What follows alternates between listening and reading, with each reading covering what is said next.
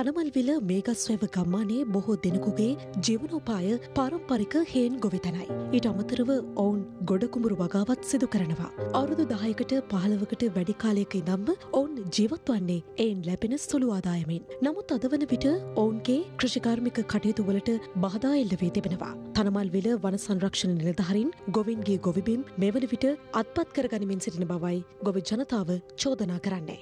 වනසංරක්ෂණ නිලධහරින් රාත්‍රී කාලයේදී බැකෝ යන්ත්‍ර යොදාගෙන මෙම කුඹුරු ඉඩම් විනාශ කරන බව ගොවි ජනතාව පවසනවා.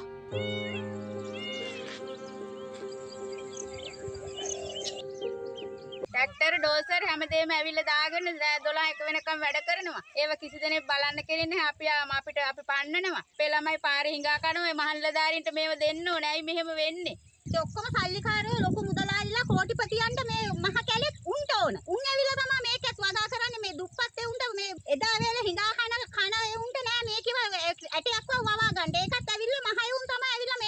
මේකේ වවා ගන්නේ.